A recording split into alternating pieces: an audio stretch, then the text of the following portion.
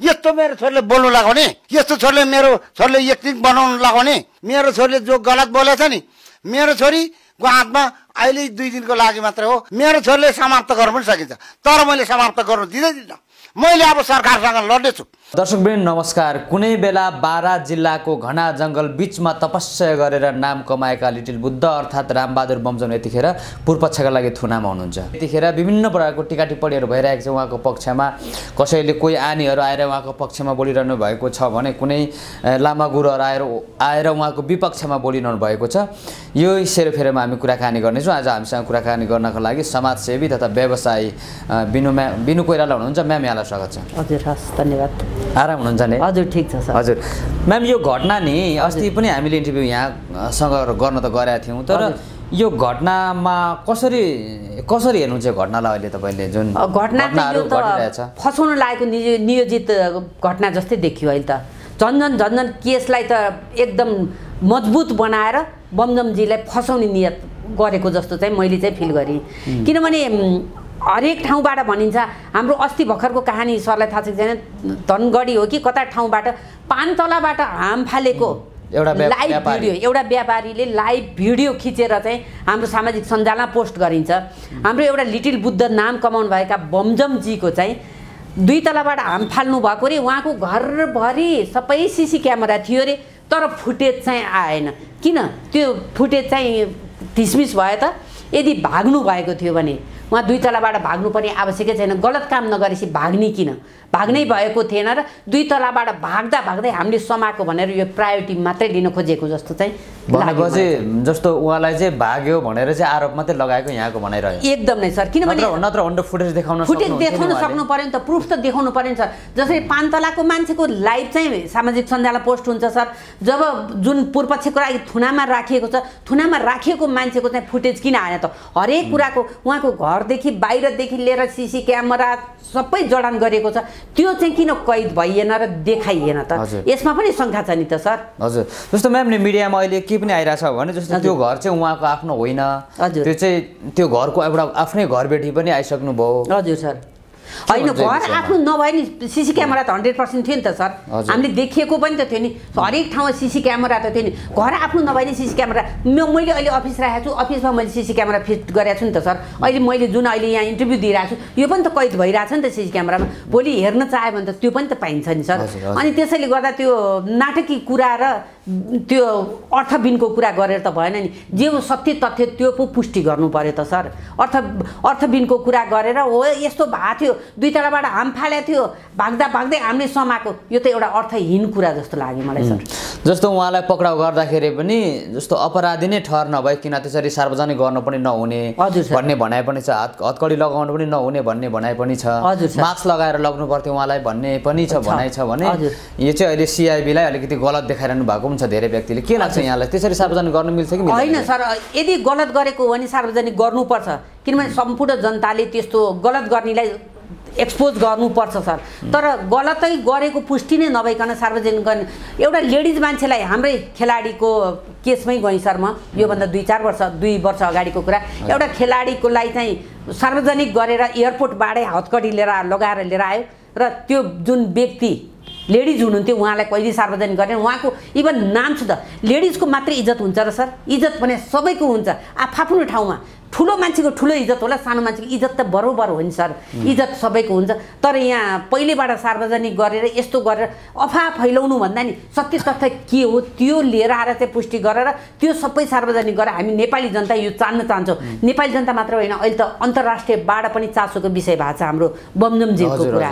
भनेपछि त यो कुरालाई त सत्य तथ्य त हाम्रो कस्तो भने हाम्रो पुलिस प्रशासन हाम्रो सिआइडी हाम्रो हरेक ठाउँबाट नि हाम्रो पुलिस प्रशासनले एकदम कडाको रूपमा लिन्छ सर नेपालको पुलिस प्रशासन।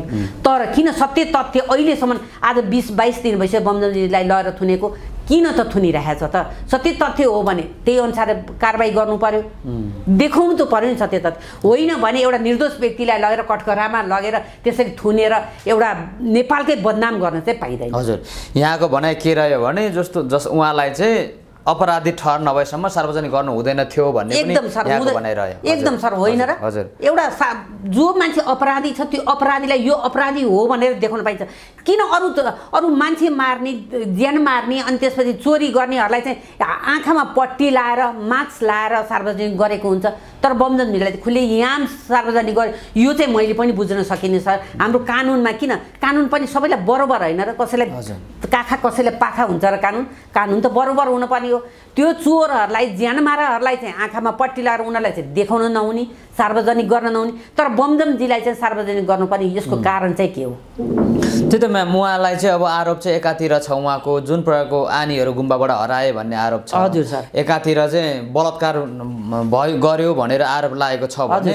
उहाँको छानबिन चाहिँ सम्पत्तितिर गरिरहेछ क्या यो त अलिकति गलत भएन छानबिन। त उहाँको त यता आनीहरू हराएकोतिर पो छानबिन गर्नुपर्ने हो त उहाँको सम्पत्ति उहाँको। गाडी उहाँको। पैसा जफत गरेको छ यो त गलत भयो नि? हन्ड्रेड पर्सेन्ट गलत सर पैसा मैले कमाएँ भने म राख्न पाउँछु नि सर मेरो दायित्व हो मेरो कर्तव्य हो मैले कमाएको पैसा मैले जे गर्न नि पाउँछु नि मेरो आय आय स्रोत देखाउन सक्नु पर्यो मैले मैले त्यो पैसा आफूले आफ्नो। घरमा पनि राख्न पाउनुहुन्छ पाउँछु नि? सर। तर अहिले क्राइसिसको बेलामा त्यतिका पैसा राख्यो भने किन भनेर क्वेसन मात्रै हो सर अर्को कुरा सर उहाँलाई त ज्यानमा बलात्कारको म्याम यो समयमा त जस्तो ब्याङ्कमा राख्नु पनि त सुरक्षित भएन नि त एकदम। सुरक्षित छैन सर। अहिले अधिकांश सहकारीहरू भागिदिएका छन् सर दुई चारवटा सहकारीले गर्दा हामीलाई शुद्ध त दाग लागिरहेको छ भने पैसा सुरक्षित कहाँ हुन्छ भने घर घरमा राखेर मान्छेले अहिले त बोरामा मैले हिजो मात्रै एउटा सामाजिक सञ्जालमा र एकजना पर्सनल व्यक्तिलाई भेट्दा पनि के भने बो- आलुको बोराभित्र पनि पैसा भेट्यो अरे। किनभने सुरक्षाको लागि। बैङ्क पनि सुरक्षा छैन सहकारी पनि सुरक्षा अझ यहाँ पैसा कहाँ राख्ने त? अझ म्याम जस्तो यहाँ दुर्गा प्रसाद जस्तो अभियन्ताहरूले ब्याङ्कको पैसै नतिर भनिराख्दाखेरि त सर्वसाधारणले राखेको पैसा त फिर्तै नआउने भयो नआउने भयो भने डरले नि मान्छे घरमा पैसा राख्नु अरे पहिला पहिला सरले सुन्नुभएको थियो नेता कुन चाहिँ नेताहरूले उहाँ ट्याङ्की ट्याङ्कीमा पैसा लुकाएको थियो भने अब अहिले सर्वसाधारणले त्यही सिको सिके। गार्जेनले जे सिकायो त्यही सिक्न थालेछ। र यो पैसाको क्राइसिस यस्तो भएर बन्द व्यापार ठप्प भयो। हामी अहिले चल्न नसक्ने अवस्थामा अधिकांश सटरहरू बन्द गर्नुपर्ने स्थिति आयो। त रोजगारै छैन सर। अधिकांश हाम्रो युवा पुस्ताहरू विदेश पलायन हुनु पऱ्यो। किन? खान त पऱ्यो नि सर पेटको सवाल छ। छोराछोरी पाल्न नि पऱ्यो पढाउन नि पऱ्यो श्रीमतीलाई खान दिन नि पऱ्यो। कति गाह्रो छ सर। हरेक युवालाई विदेश लखट्न हतार भइरहेको छ। आफ्नै छोराले नि बाबु नजाउ न हामीसँग बस भन्न हामी आमाहरूले पनि सक्दैनौँ सर। किनभने यहाँ रोजगारको सिर्जना नै छैन सर। यसरी भएको पैसाहरू सबैको घर घरमा छ अहिले। अनि बन्द व्यापार कसरी चल्छ त सर? हजुर। जस्तो उहाँलाई अस्ति रने तामाङको मृत्यु प्रकरण हजुर। अस्ति एक्सिडेन्ट भएर बित्नु भयो हजुर, सर। सिन्धुलीमा हजुर, सर। यहाँ कसरी भन्नुहुन्छ म्याम जस्तो यता एकातिर बाघ कराउनु उतातिर बाख्रा हराउनु त्यही त जस्तो एकैचोटि पऱ्यो अब यो। चाहिँ त छानबिनको प्रक्रियामा गएको नै होला सर यता बयान दिएर यता जानु पनि उहाँ एक्सिडेन्ट हुनु यो को एक्सिडेन्ट हो कि नियोजित भएको हो कि? यसको छानबिन त अब हाम्रो पुलिस प्रशासनले गर्दा यसको सत्य तथ्य चाहिँ एकदम नै हामीले जरुरी छ। हजुरहरूले पनि यसको लागि चाहिँ आवाज उठाउनुपर्छ। किनभने यता बाघ कराउने यता बाख्रा हराउने एकैचोटि परेको छ। सर त्यसको लागि चाहिँ आवाज चाहिँ उठाउनै पर्छ सर। यहाँलाई चाहिँ के लाग्छ म्याम? जस्तो दुर्घटना हुँदाखेरि चालकलाई केही नहुनु साधारण चोट पनि नलाग्नु। हजुर सर। र पछाडि बसेका जो रने मोक्तान हुनुहुन्थ्यो हजुर। उहाँ चाहिँ अन द स्पोट डेथ हुनुलाई कसरी कसरी हेर्नुहुन्छ? अलिकति त- शङ्कास्पद त रह्यो नि। अब एउटा मोटरसाइकलमा जाँदा क कस्तो हुँदो रहेछ भने सर आज भर्खर पनि एकजना लेडिज आउनु भएको थियो। उहाँको हस्बेन्ड र वाइफ बाइक चढ्नु भएको थियो। अगाडि चढ्ने मान्छे लड्नु भरे फेन्ट मात्रै हुनुभयो तर पछाडि बस्ने बहिनीको पुरा करङ गएको थियो। त्यस्तो हुन चाहिँ सक्छ सर? त्यो हामीले यता बयान दिनु उता एक्सिडेन्ट पर्या भएर हामीलाई चाहिँ शङ्का लागेको मात्रै हो सर होइन? त्यस्तो हुन चाहिँ सक्छ तर के हो सत्य तथ्य त आइहाल्ला नि। त्यही त जुन दिन उहाँले बमजनको पक्षबाट अभिव्यक्ति दिनुभयो हजुर। त्यसकै केही भोलिपल्ट चाहिँ त्यहाँ दुर्घटना भयो।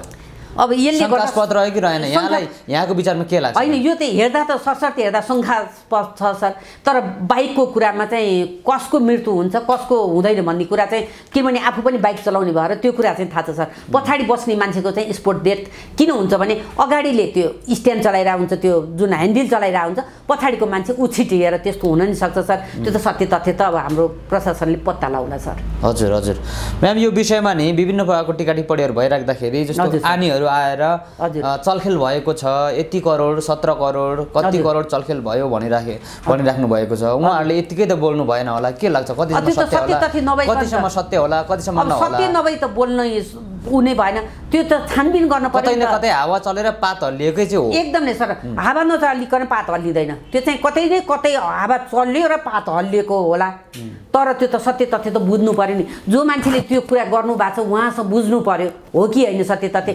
मिडियामा आएर बाकम फुसे कुरा गरेर र दु जुन दुनियाँलाई बेकुब बनाउने काम चाहिँ कसैले पनि गरिदिनु भएन। उसले यसो गर्यो रे भनेका छन् उसले उस यो हावा तालमा उल्लेर यसले मात्रै भइरहेछ सर। सत्य तथ्य खै त हामीलाई आएको? हामीले सार्वजनिक हुनै पाएको छैन देख्नै पाएको छैनौँ। कुनै पनि लगेर थुनिदिएको छ तिन करोड पैसाको इस्यु बनाएको छ मोटरसाइकलहरू बरामद गरेछ पैसा बरामद गरेछ।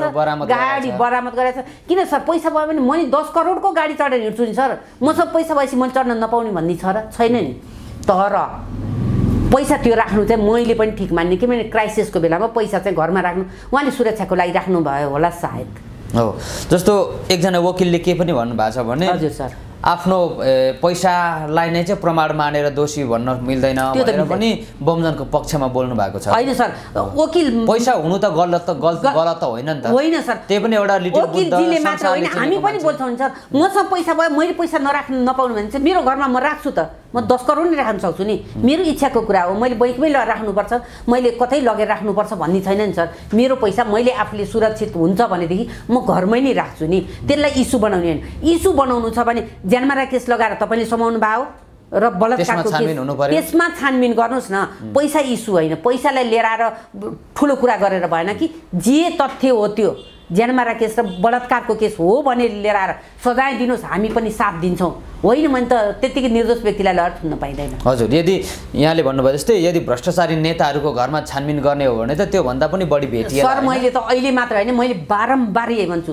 बमजमजीको घरमा जसरी गरेर तिन करोड आयो भने हाम्रो नेताको घरमा हरेक प्रत्येक नेताको घर घरमा जाने हो भने दस करोड आउँछ। अहिले त हाम्रा नेताहरू यति बाठा भइसके नि सर भरैभरको हाम हाम्रो सम्पत्ति हामीले तिरेको पैसा घुस खाएर विदेशी बैङ्कमा लगेर सुरक्षित बनाइसके सर अहिले नेताको घरमा त पहिला ट्याङ्की ट्याङ्कीमा हुन्थ्यो अहिले त उनीहरू नै बाठा भएर विदेशमा भइसक्यो सर अब अहिले त नेता घर गयो भने त केही पनि छैन। हामीले के खान्छौँ र ल्याइ हेर्नुहोस् भनेर उनीहरू त खुल्ली यहाँ देखाइन्छन् बाठो भइसक्यो सर हाम्रो बमजमजीले चाहिँ मैले के गरेर पर- कमाएको हो र मैले सत्य गरेर कमाएको पैसा हो मलाई कसैले भेटिदिएको पैसा हो भनेर उहाँले राख्नु भएको थियो होला। हाम्रो नेताहरूले त त्यो गर्न कहाँ सक्छन् र सर? अख्तियारले समाउँछ छानबिन हुन्छ छापा मार्छन् भनेर नि लगेर कुदाइसक्नु भयो नि हजुर जस्तो विनोद चौधरी जो माननीय हुनुहुन्छ अहिले हजुर, सर। उहाँलाई पनि अहिले एक प्रकारको आरोप लागिरहेको छ जस्तो नेपाली पैसा चाहिँ उहाँले विदेशमा लगेर विदेशको विभिन्न ठाउँहरूमा लगेर चाहिँ लगानी गरेको। आरोप लागेको छ लगभग उहाँलाई त्यो पुष्टि भयो भने जेल जाने सम्भावना पनि छ है हजुर, सर। यसरी त्यही त म्याम जस्तो बमजनको केसमा चाहिँ अलिकति मान्छेहरू एउटा एकट्ठा भएर फसाउनको लागि लागे नै भन्छौँ हामी। हजुर, सर। जस्तो जो कतिपय नेताहरूलाई चाहिँ छानबिन पनि नगर्ने नगर्ने। अवस्था पनि छ। सर अब छानबिन नगरेको त प्रष्ट देखियो सर। ललिता निवासको काण्ड दुई चार दिन बेसकन हुइम चल्यो। त्यसपछि सामसुम बनाइदिए। ललिता काण्ड निभाउनलाई सुनकाण्ड ल्याइदिए सर। सुनकाण्ड आयो। एउटा निर्दोष व्यक्ति ट्याक्सी ड्राइभर न त्यो केही त्यो ट्याक्सी ड्राइभरलाई थाहा छ उसलाई लगेर थुनाइदिए। त्यसलाई सामसुम पार्नलाई फेरि उहाँ जलरी काण्ड लिएर आए सर। यस्ता यस्ता काण्डै काण्ड लिएर आएर हामी नेपालीको आँखामा धुल झोपिया छन्। त्यसको चाहिँ बरु गरौँ न त्यस्ता व्यक्तिलाई लगेर चाहिँ लगाउँ न जेलमा जब एउटा साधुलाई लगेर एउटा ध्यानीलाई लगेर एउटा धर्म गुरुलाई लगेर लगेर, त हाम्रो नेपालको नाम चिनाउन खोजेको मान्छे हो नि त। अन्तर्राष्ट्रिय स्तरमा पनि लिटिल बुद्धको नामबाट चिनिसकेका मान्छेलाई लर फसाउने हाम्रो त यहाँ जो मान्छे अलिकति नाम कमाउनु थाल्छ नि सर तेल त्यसलाई लगेर फसाउने चलनले गर्दा नै हाम्रो नेपाल नै नेपाल- प्रगति हुन सकेन सर। हामी म्याम अन्तिममा हुनुहुन्छ अन्तिममा नि जस्तो म्याम यो बमजनलाई फसाउनु पर्ने हजुर। कारण चाहिँ किन होला म्याम? के लाग्छ यहाँलाई? किन यो चाहिँ कतैबाट? दबाबै आएको जस्तो मैले चाहिँ फिल गरिरहेको छु। विदेशी चलखेल हो? अब त्यो पनि। हुनसक्छ सर। यहाँ कतैबाट दबाब नआइकन बमजमजीलाई त आजभन्दा चार वर्ष अगाडि खोजेको भनेर यत्रो कुरा आइरहेको थियो। चार वर्ष अगाडि बमजमजी ती बुढालिन कण्ठमा बसिरहनु भएको थियो। यदि प्रहरीले खोज्न चाहेको भए चार दिन। पनि लाग्दैन थियो सर। अब यो के कुरामा यहाँको यिनीहरूको कुरा मिलेन त्यसपछि समाएर यो पुष्टि गर्न मात्रै खोजेको अरू केही पनि होइन। उम्, हस् त म्याम समयको लागि